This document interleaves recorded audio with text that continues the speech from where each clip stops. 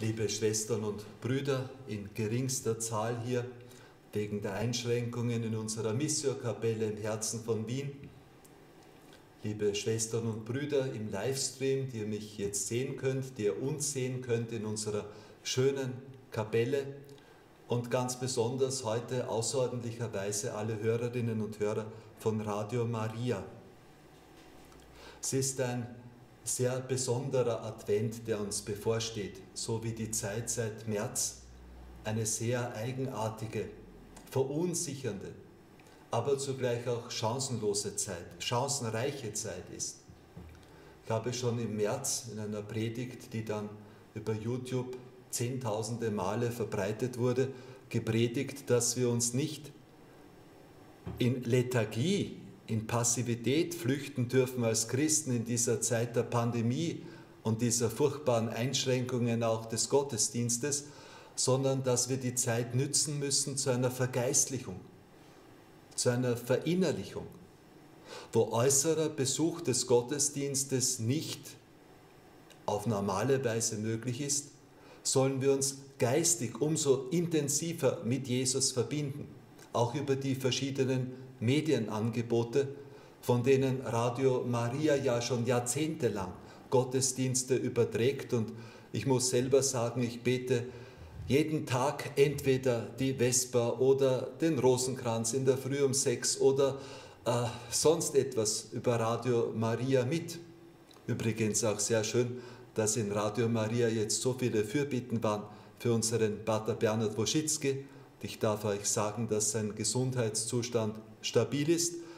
Der Herr Abt hat mir aber kurz vor der Messe geschrieben, wir sollen beten, weil jetzt wahrscheinlich das Wochenende der Höhepunkt und die kritischste Phase sein wird. Das Besondere dieser Zeit merke ich hier im Herzen von Wien daran, wenn wir gerade im Evangelium gehört haben, dass Rausch und Trunksucht und die Sorgen des Alltags uns nicht verwirren sollen, dass es keine Weihnachtsmärkte gibt. Wir liegen hier hinter der Franziskanerkirche beim Ronacher und was waren das für Zeiten voriges Jahr im Advent, wo die Betrunkenen torkelnd von den Punsch- und Weihnachtsständen da vorübergekommen sind, wo am Abend laut gegrölt worden, ist und jetzt ist es still.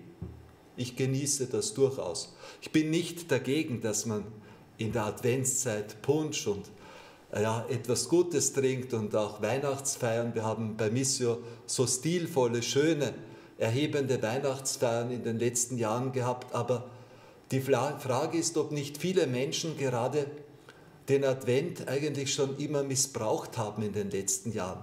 Nicht als eine Zeit, wo man still wird und wo man reduziert, sondern eine Zeit, wo man sich gleichsam flüchtet, ja, weil man Angst hat vor der Stille, weil man Angst hat vor der Frage nach dem letzten Sinn, weil man eben keinen Erlöser zu Weihnachten erwartet, sondern nur eine schöne romantische Familienfeier, wo man sich dann halt irgendetwas schenkt und unter Stress im Advent die Geschenke kaufen und aussuchen muss.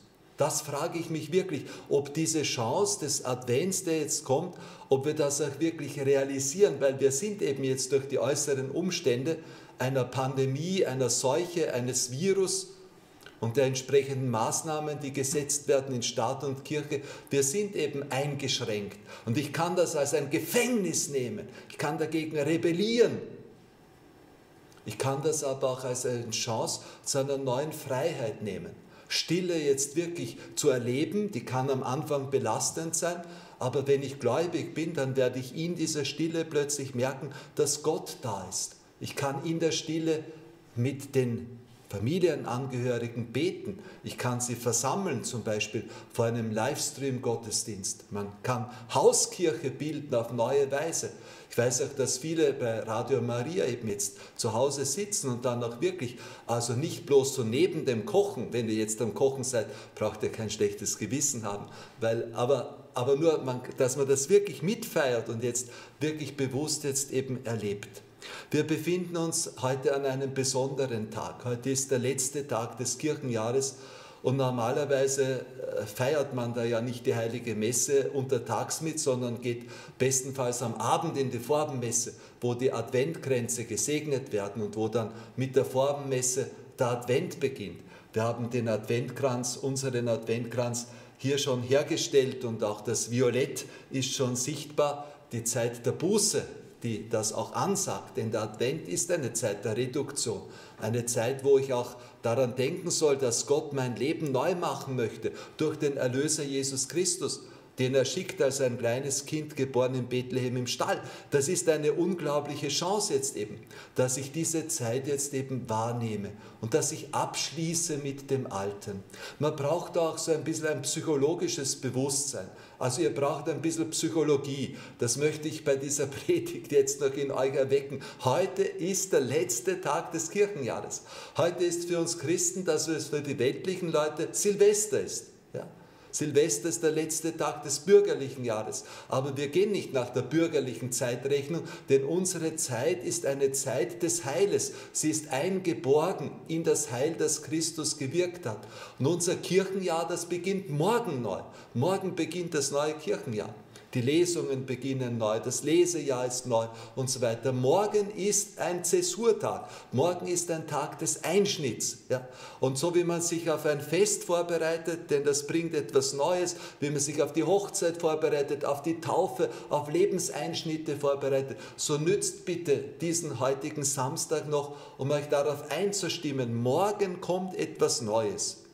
Ich empfehle euch auch kleine Vorsätze zu fassen. Ich weiß schon, es gibt den Spruch, der Weg in die Hölle ist gepflastert mit guten Vorsätzen. Ich korrigiere da immer und sage, der Spruch muss lauten, der Weg zur Hölle ist gepflastert mit falschen, unrealistischen Vorsätzen. Denn kleine, realistische Vorsätze, die funktionieren sehr wohl. Aber wenn du dir heute vornimmst, ja, im Advent und ich will nur lieb sein zu meinem Mann, obwohl er oft so ein Grandscherben sein kann. Oder ich will eben jetzt nur mit meinen Kindern geduldig sein, obwohl sich die manchmal aufhören wie die Hottentotten. Das wird nicht funktionieren. Du brauchst kleine, realistische Vorsätze, die du dann auch umsetzen kannst, auch in Bezug auf deine Beziehung zu Gott. Nütze diese Chance, dass nach außen vieles reduziert ist und wir hoffen zwar, dass nach dem 6. Dezember es dann offener wird und dass wir dann uns wieder freier bewegen können. Ich hoffe auch sehr, dass die Gottesdienste dann nicht eben jetzt wieder so quantitativ eingeschränkt sind und äh, wir werden alles tun, damit hier keine Infektionsherde entsteht. Aber dass wir wirklich zum Beispiel das Singen, das fehlt mir so. Ich finde es großartig, wie die Gabriela singt oder die Maria oder die Michaela. Gott sei Dank haben wir bei Missio so wunderbare Mitarbeiterinnen schöner Stimme, aber ich tät so gerne mitbrüllen, ja, na mitbrüllen, ja, singen, kräftig mitsingen, ja, wie der heilige Augustinus gesagt hat, wer singt, betet doppelt, aber das wissen wir nicht, ob es das eben dann geben wird. Wir würden es uns wünschen, aber wenn es auch nicht möglich sein sollte, dann werden wir das auch annehmen und das Beste eben draus machen. Liebe Schwestern und Brüder, Gott hat am siebenten Tag geruht. Der siebente Tag ist der Sabbat. Heute ist der letzte Tag der Woche, nicht der Sonntag, sondern heute, der Samstag, ist der letzte Tag der Woche. Der Sonntag ist für uns Christen der erste Tag. Mit dem Sonntag beginnt morgen auch ein neues liturgisches Jahr. Es beginnt die Zeit der vierwöchigen Vorbereitung auf Christi Geburt, auf die Geburt dessen, der unser Licht ist, der der Erlöser ist. Wenn Weihnachten sein wird, dann werden die Tage auch wieder länger, dann wird es auch wieder heller werden. Aber all das wäre nur im Hamsterrad unseres Zeitverlaufes, wenn wir Weihnachten nicht erleben würden als das Fest, wo Christus unser Herz, unser Inneres, unser Leben, unsere Beziehungen heller macht. Und deshalb brauchen wir diese Zeit der Vorbereitung auf Weihnachten.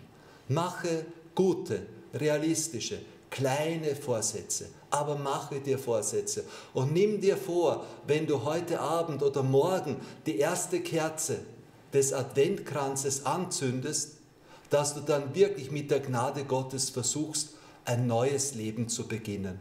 Amen.